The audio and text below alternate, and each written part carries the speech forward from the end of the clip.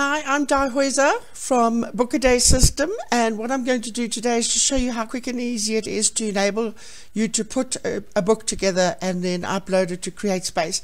So if you go to the membership section and you go through to our templates, under the Microsoft Word Starter templates, we've got six different templates for you. One of them is the CreateSpace formatted template, which has got a lot more information. And then under the Streamline version, we have a cleaner one. So all you need to do is right click on which one you want and save link as, and it'll then drop the file into the correct subdirectory. Okay, now I've already saved my document, so I'm not going to do that. So I'm going to now open the document. And what will happen is you'll have a title page, which you can just type in whatever you want. I've just put in the word ramblings. And on the copyright page, I'm going to come back to the copyright information just now, as soon as we've uploaded the document. I've also activated that it shows all the um, paragraph marks and that so you can see where you are on the page which just makes it a bit easier. So on the very first page I'm going to put my mouse over there and then I'm going to say insert picture and I'm going to go and pick up my left page and pop it there. And then I'm going to go to my right hand page and insert picture and pick up the right hand one. Okay, and right now once you've copied and pasted um, all your pages that you want, and I've copied and pasted about 30 pages, I'm now going to go and have a look at, um, if I can just get this right, I want to look at multiple pages. You can now see all of the images that I've copied and pasted over here. Okay, so I'm now going to go back to one page. I'm going to pop down to the information where it is about the author and you can basically just put in information about yourself if you are going to put an author name to it, or alternatively, um, put in some information about Legacy for Life planners, because this is what I'm calling my range of planners. And you can put some blurb in there and basically put whatever you want in there. Right, now I'm going to save the document. Okay, so now we're going to go into CreateSpace and we're going to add a new title. So we'll click on add a new title. I'm going to call it Ramblings Notebook. It's going to be a paperback and I'll go through the guided step-by-step -step process. Okay, it's got no subtitle. The primary author is Diana Heuser um, add no that's fine. There's no series title. Um, there's no edition and there's we're just going to keep it in English so we'll save and continue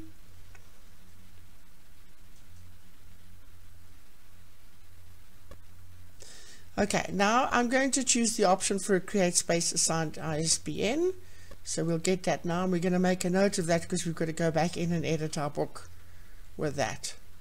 So that information there that you're going to pick up, just copy and paste it. Go back to your document. Scoot up to the main page.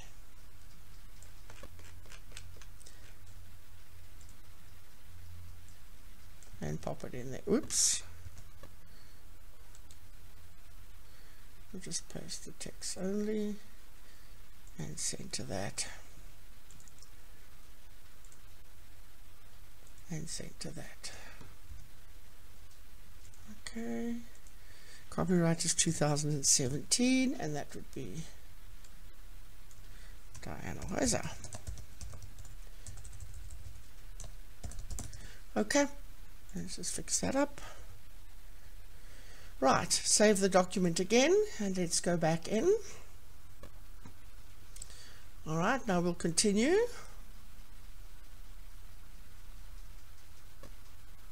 Now remember, you don't have to do this guided one. You can always just go straight um, to the different options. So we're going to go for full color 6 by 9 The paper color is going to be white.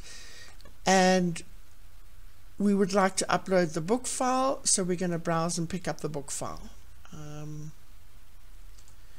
which is now sitting over there and we'll save it and it's now going to talk, uh, upload it so I'm going to press pause on the video until it's uploaded okay so I'm going to choose the option of a matte cover and then I'm going to upload my own print ready PDF file. You can use the builder your uh, your cover online, but that's not something I'll go through with today. So let's go to upload a print PDF, and I'm going to go and pick up the cover that I've already done for this, and then I'm going to save.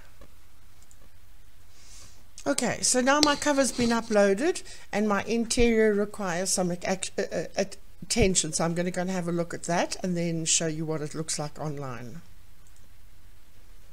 Once you're in the interior section, click on Launch Interior Reviewer so that you can see what the problem is.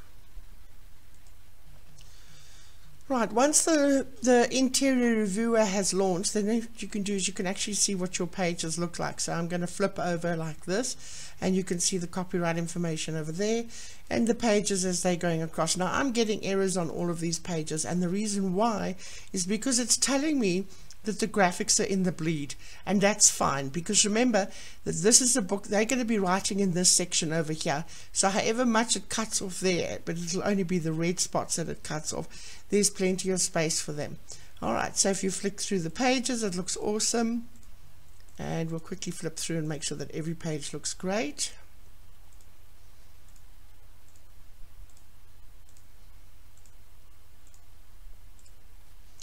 okay and you can also obviously there's the blurb that we put at the back. Now I'm obviously not going to finalize this right now but I wanted to just show you something which I picked up. When you're setting up the document do and you're going to be using the the borders on either side of the page like I did just remember that the first page must always be the right hand side of the page. So there will be one odd page at the in the in the beginning Right, now if you go back to CreateSpace, all you need to do is then click on um, save, ignore the issues and save. In this case, I'll go back and make the changes because I do want to add some stuff to the back. Okay, and that is it. If you've got any questions, please feel free to get hold of Bill or myself.